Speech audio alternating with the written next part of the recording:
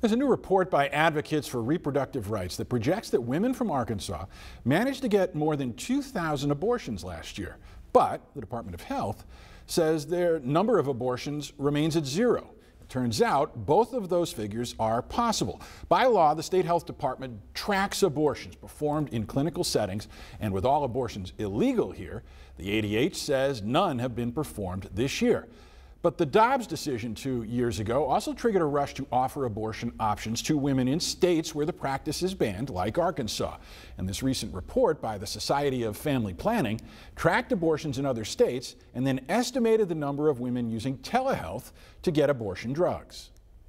The telehealth providers that are working in these eight states are working legally under their own states' uh, laws. And so it is completely legal um, from the standpoint of their own states.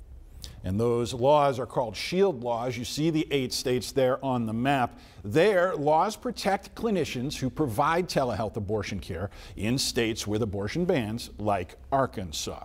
And then the numbers do estimate that 2,250 women from Arkansas managed to terminate a pregnancy through the group though the group behind the survey admits their figures are not exact because tracking all drug shipments is impossible.